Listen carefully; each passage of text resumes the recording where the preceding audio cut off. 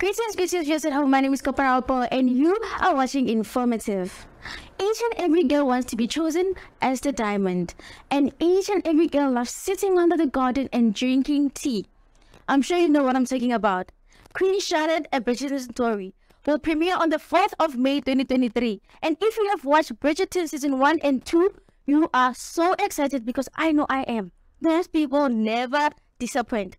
So make sure you keep your eye out for Prince Charlotte Bridgerton story on the 4th of May 2023 on Netflix.